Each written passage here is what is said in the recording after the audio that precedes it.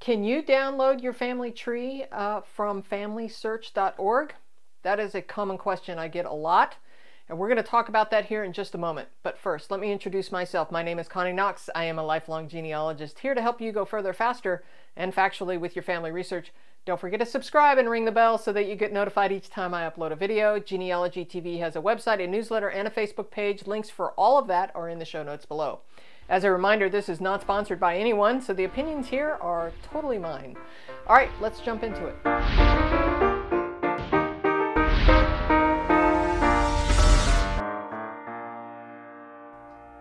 Okay, so we're over here on the computer and we are going to see if we can download familysearch.org uh, but the reality is, can you? No, you technically can't, but there are a lot of workarounds. So we're going to talk about that here right now. Also, as a side note, for those of you who are on Ancestry, you can share that tree with another. I've done another video about that, but um, right now we're going to be talking about uh, family search and how you could download your tree. Now, why would you?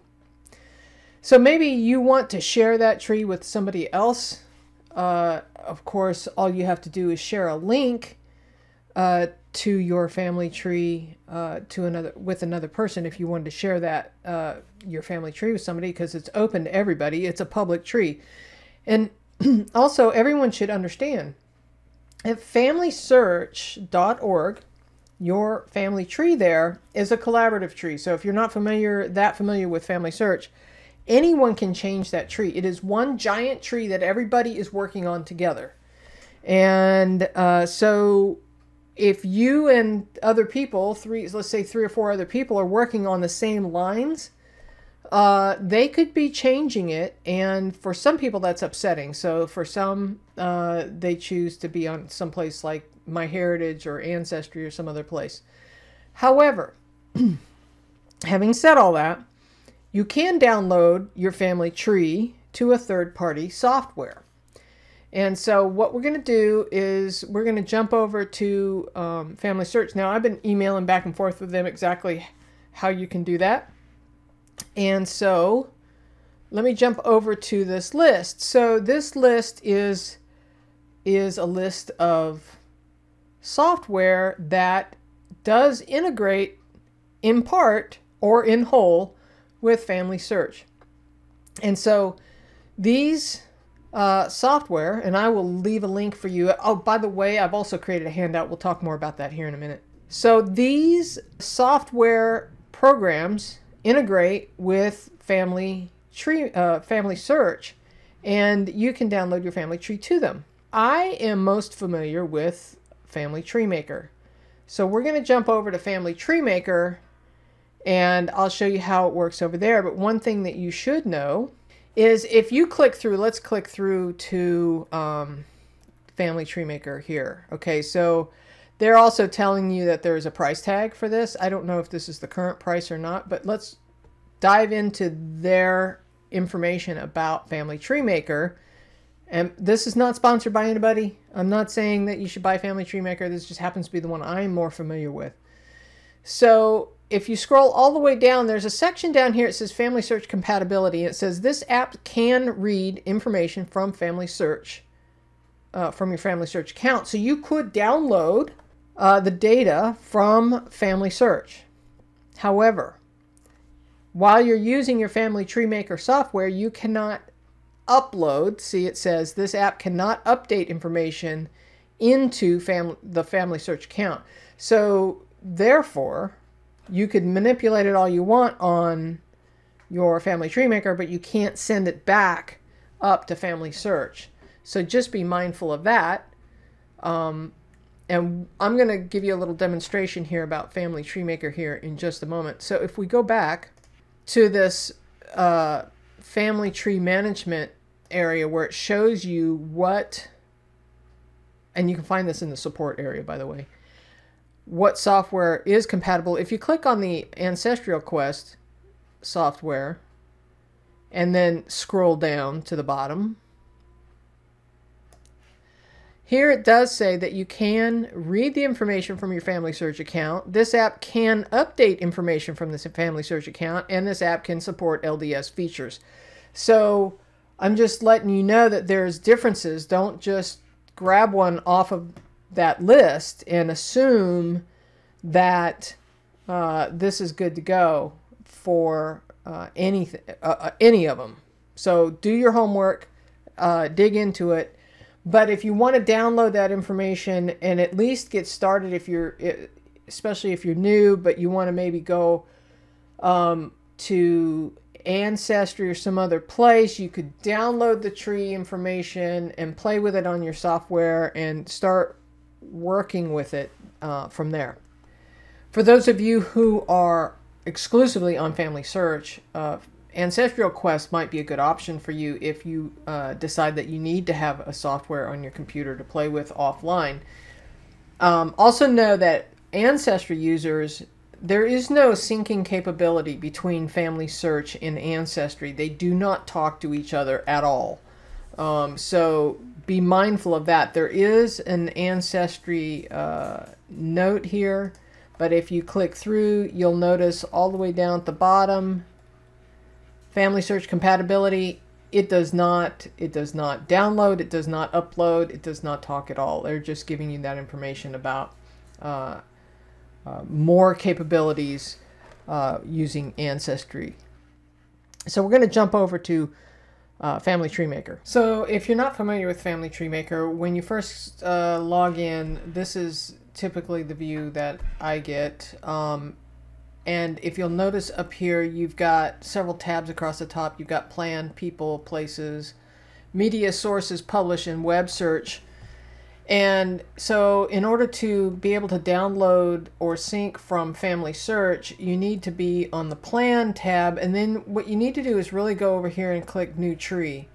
And if you'll notice right here, it says you can download a tree from Family Search. Now, you do need to be logged in to Family Search first before you can do this, and it'll prompt you if you're not. You can also tell if you're logged into Family Search because up here in the corner there is a, a Family Search icon that says I am logged in.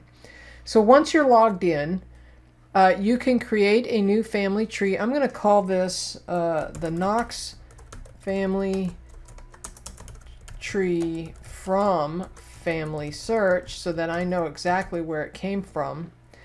And one of the things you need to notice here is it says uh, it's identified me already because on Family Search, I have associated my account with who I am in the world tree. Now, keep in mind that Family Search is that collaborative giant tree, and you know everybody's working on it. So that's the identifier for me in that tree. And then one of the things you need to pay attention to is the number of ancestors that we're going to import. So we can import a lot if we wanted to, or very little.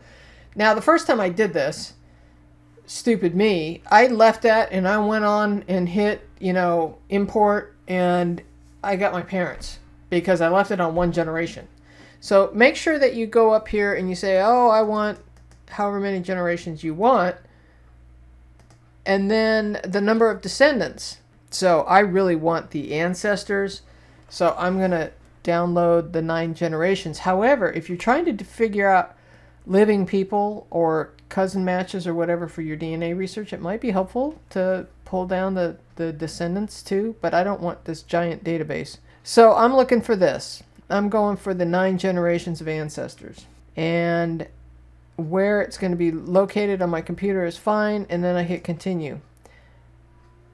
And it's downloading. Now this might be an actual great idea if you're working in Ancestry and uh, you want to compare your ancestors to what other people on Family Search are doing, you can actually bounce between the two trees on Family Tree Maker because I've already downloaded the Ancestry tree.